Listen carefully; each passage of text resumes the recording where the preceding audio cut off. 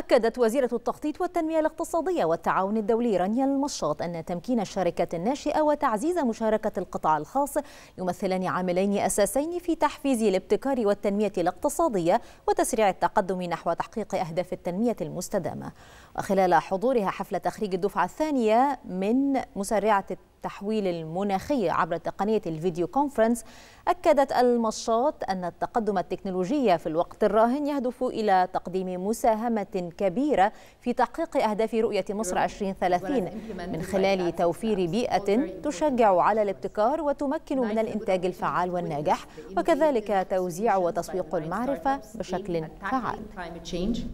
Over the past three months, these projects have received comprehensive financial